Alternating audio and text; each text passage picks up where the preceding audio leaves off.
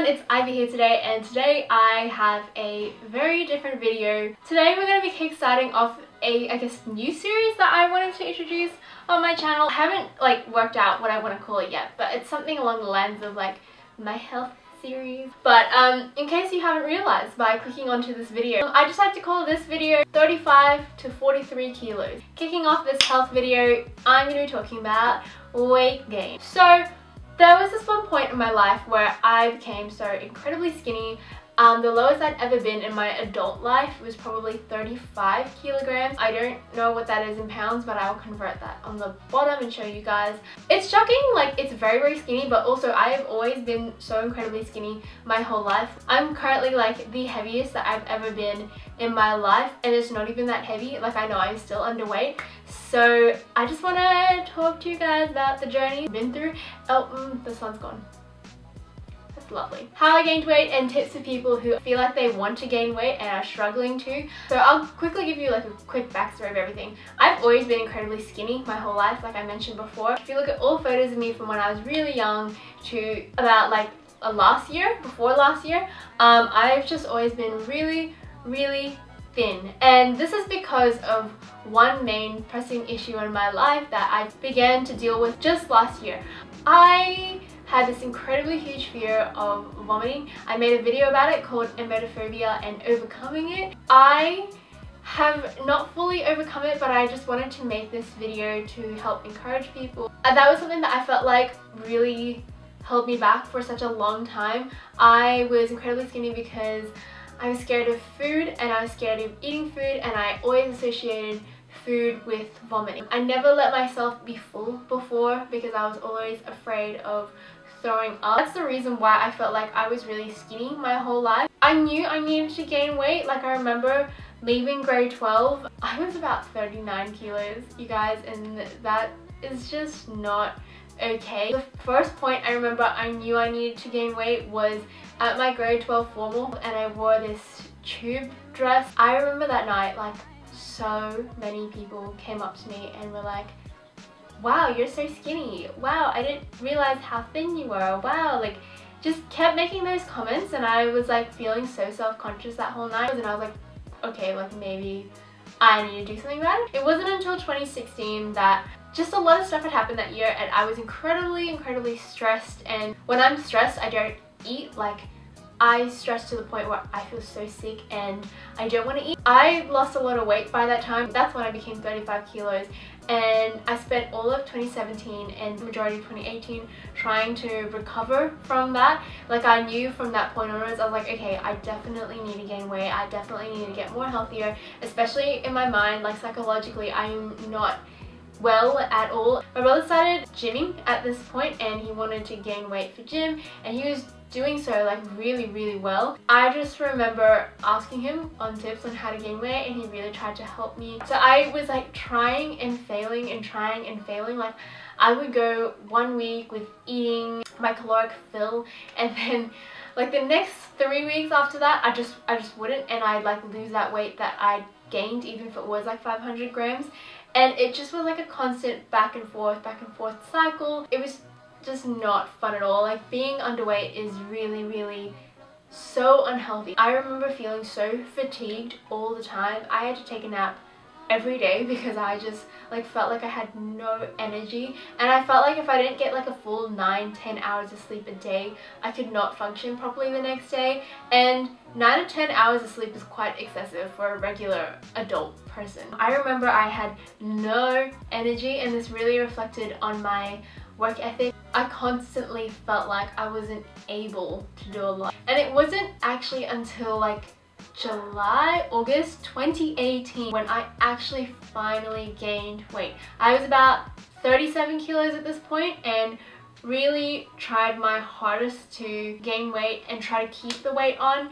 and this is when I started feeling the healthiest that I could. It's absolutely not easy to gain weight. There are so many things that you have to train yourself on and people just think oh wow like it's a great excuse to eat burgers and pizza and ice cream whatever you want and even I guess like gaining weight but not gaining fat. So finally gaining weight. So this is the point where I guess I just wanted to talk about how I actually gained weight and tips and tricks for those who are trying to gain weight and struggle. I remember posting about this on my Instagram about a year ago and so many people had messaged me like saying that they were really happy for me and even like people were messaging me on my Instagram being like, how did you gain weight? How did you do it? How do you put on the weight? And so I wanted to talk about that here, like condense that all in a video.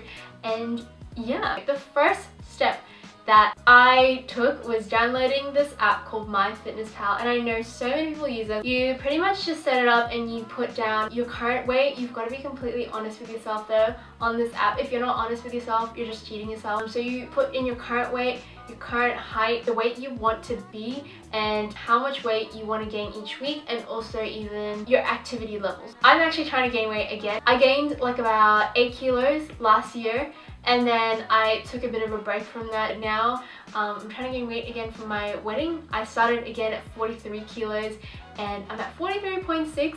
Been doing this for about a week and a half. I do it in kilojoules because everything here in Australia is marked in kilojoules. The kilojoules was so much more higher for me last year because I was more active. I was at uni and I was walking around a lot and I was working a retail job. So I did a lot more physical activity than I do currently. Right now, I live a pretty sedentary lifestyle. I sit in an office and sit down 40 hours a week and then go home and just edit a video. So I don't really do a lot of physical activity on a daily basis, but it's something that I'm wanting to change. Yeah, this app is really cool because um, what you do is like, for example, for breakfast, you click add food on the bottom and then you can search for your food. What's really great about it is that you can scan barcodes and stuff. In conjunction to this, MyFitnessPal, you definitely need to use like a little mini weighing scale when weighing all your food. I'm pretty sure all the gym people will tell you this. It is so important to have an accurate record of what you're eating daily just because like you don't want to cheat yourself like you might think you're eating 300 grams of rice or something but in reality you only ate something like 220 that's 80 grams of rice that you are not accounted for and that you're not eating so aside from MyFitnessPal the main thing to do to gain weight is of course eat. And like I mentioned to you guys before, eating used to freak me out. Like it used to actually terrify me because I used to be so scared of vomiting. I've come up with a few tips and tricks that helped make it so much more easier to, for me to be able to eat and eat a lot without feeling overwhelmed, I guess. So the first tip that I have is pre-prepping your meals. I didn't have a lot of money like last year when I was still in uni, so I would only spend $50 a week on food and that covered all my meals for like five days pretty much like breakfast lunch and dinner. If i had a chance to i will do a video on this and like prepping bulking whatever for 50 dollars a week. What i would do is like i would make pasta for the week and then i would put them in a container like five different containers and pre-measure all the pasta and write on the container or like put a little sticky note on it being like 300 grams of penne pasta 200 grams of beef mince and then I would just try to measure it on the app. I just find that like when I don't prepare my meals, I get so lazy and I just eat whatever and I don't end up measuring it on the app. One tip that I have that is so incredibly important is always remembering that the last few hundred kilojoules are so important for weight gain. That is literally where the weight gain comes in. Like if you see that you have three, 400 kilojoules left and you might be like, oh, it's fine. Like I've met my fill for the day it's all good. That is actually where the weight gain comes in. Like you might be expending 8,000 kilojoules worth of energy per day and you might only eat 8,000 kilojoules of energy per day. You're just pretty much eating the amount of energy that you are putting out, but that extra 400 kilojoules um, that you're supposed to make could actually make or break your weight gain. So in those last few hundred, as hard as it is, like I know for myself, that is always the hardest part. In those times, I'll usually eat something that is very small but like has high calories in it. Like, I know this is probably not the best practice, but like ice cream or chips or something. If I was already full by the end of the day and I needed to make 400 kilojoules, I would not eat an apple. Which kind of brings me to my next point. When trying to gain weight, I actually found that the food plan that I had to follow was eating five meals a day. I had to eat breakfast, a small snack in between lunch, a light afternoon snack, and then dinner. I tried to find foods that were really easy or like meals that were really easy for me to be able to eat quickly and gain weight but not feel like I was eating so so much. So things that I found that were really easy for me to eat. Liquids liquids help me so much. Like for example up and go especially the up and go energy ones like the protein ones they help me so much. And they even taste really good so that's always great. Um, milk protein shakes I personally wouldn't recommend this but I know my brother drinks it um, daily and it actually helps him reach quite high kilojoules in such a small amount. Adding cheese to anything that you can, like for example pastas, breads, I don't know, just anything that you feel like you would like to eat cheese with. Cheese is pretty fattening, but I would recommend adding like maybe 20 grams or so of that onto any of the foods that you eat because it helps a lot. Healthier snacks, for example, such as bananas, hummus and crackers, I love that. It's more of a healthier snack and I feel like it actually helps you meet your caloric surplus really easily. Granola bars, I've only started doing this really recently, but I found that granola bars, something like this small, like already worth 7 to 800 kilojoules a day. That's literally like an afternoon snack and that's all I need to eat. Again, another healthier alternative is adding granola to your oats. So I remember when I tried to first start gaining weight, I just ate oats by itself and water and I would have like massive heaping bowls of oats.